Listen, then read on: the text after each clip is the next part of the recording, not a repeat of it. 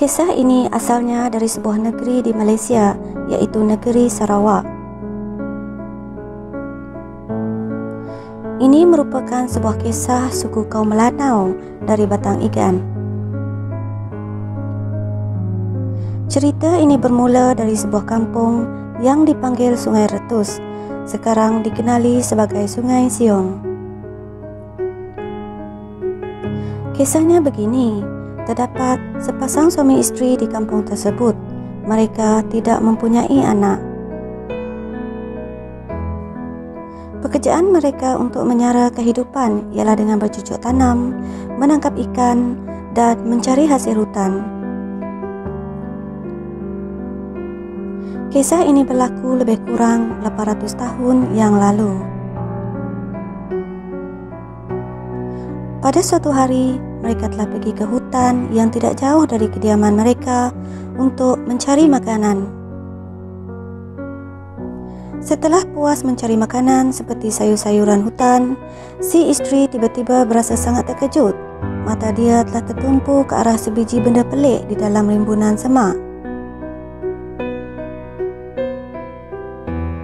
Telur, itulah perkataan yang tiba-tiba terkeluar dari mulut perempuan tersebut dengan nada yang kuat. Lalu didengari suaminya yang berada tidak jauh dari situ. Si suami terus berlari ke arah isterinya. Suami isteri tersebut berasa sangat hairan dan sedikit cemas apabila mendapati terdapat sebiji telur yang kelihatan luar biasa.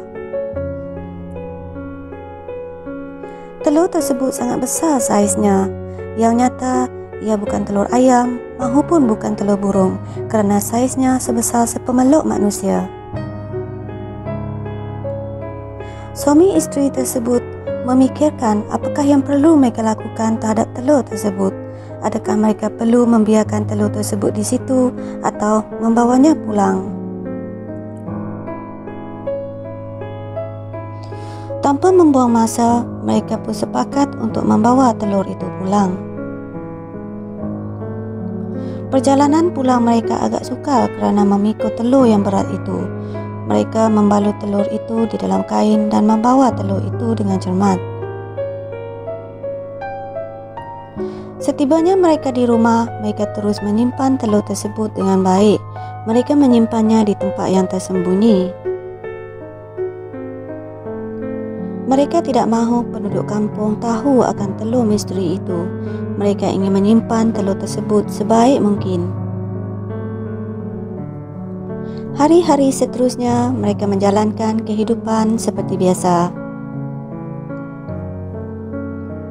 Si suami sibuk pergi ke sungai mencari ikan, manakala si isteri menanam sayur-sayuran. Walau bagaimanapun, mereka sentiasa memikirkan tentang telur misteri yang mereka jumpai tempoh hari. Pada suatu hari, suami isteri ini tidak keluar rumah. Mereka berhasrat untuk berehat setelah penat bekerja. Si suami membaiki jalannya yang sudah lusuh. Si isteri memasak di dapur. Sambil memasak, si isteri kerap memandang ke arah telur yang mereka simpan di sudut dapur. Tiba-tiba, alangkah terkejut si isteri. Dia melihat telur tersebut merekah seolah-olah sebiji telur ayam yang hendak menetas. Lalu, dia memanggil suaminya yang duduk di tepi pintu rumah mereka. Suaminya berasa panik, apatah lagi si isteri yang sudah ketakutan. Mereka tidak tahu apa yang patut dilakukan. Si suami memegang sebilah parang. Dia takut ada sesuatu yang buruk akan berlaku. Lama kelamaan, telur tersebut semakin besar rekahannya. Mereka memerhati sahaja dengan perasaan yang cemas. Tiba-tiba, rekahannya semakin besar. Alangkah terkejutnya mereka muncul kepala anak manusia. Mereka betul-betul tergamam dan tidak dapat berkata apa-apa.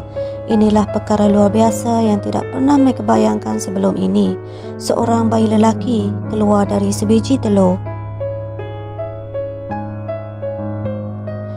Lagi mengejutkan, terdapat seekor ayam laga jantan, seekor ular tedung dan sebilah tombak keluar bersama bayi itu. Setelah telur itu merekah sepenuhnya, keluarlah tangisan nyaring bayi lelaki itu. Suami isteri itu masih ketakutan, mereka hanya melihat sahaja. Tangisan bayi itu semakin kuat, seolah-olah minta didukung. Tanpa membawa masa, si isteri mengambil kain. Dia membalut bayi itu dan mendukungnya. Setelah didukung si isteri, tangisan bayi tersebut terus berhenti. Suami isteri itu berasa lega. Tiba-tiba timbul perasaan yang sangat mengembirakan mereka dengan munculnya bayi lelaki itu. Lebih-lebih lagi mereka menginginkan anak sebelum ini. Munculnya bayi lelaki itu seolah-olah satu anugerah yang tidak ternilai bagi mereka. Bayi itu seolah-olah tersenyum, kelihatan begitu senang dalam dakapan si isteri.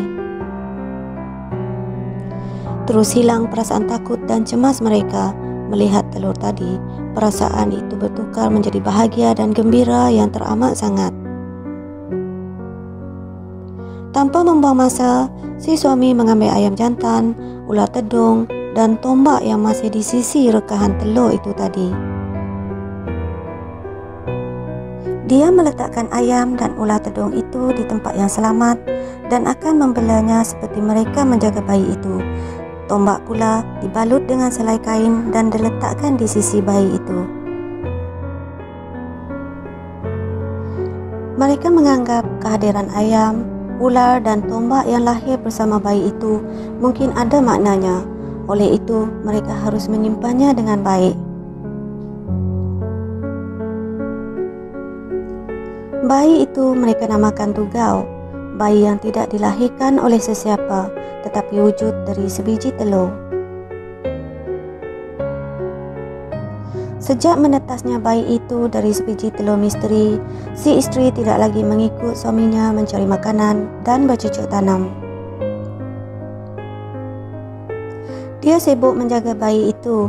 Suami isteri itu begitu sayangkan Tugau. Al-maklumlah mereka sudah mempunyai anak. Mereka membesarkan Tugau dengan penuh kasih sayang mereka tidak menyangka yang mereka telah dikurniakan anak dengan cara yang begitu ganjil. Hari demi hari, Tugau semakin membesar. Dia begitu berminat bermain dengan ayam laga jantannya. Ular tedung yang dilahirkan bersamanya seolah-olah penjaganya, manakala tombak adalah senjatanya.